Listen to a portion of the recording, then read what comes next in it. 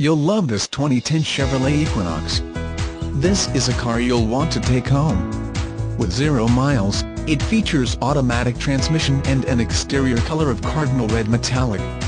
Call us and be the first to open the car door today.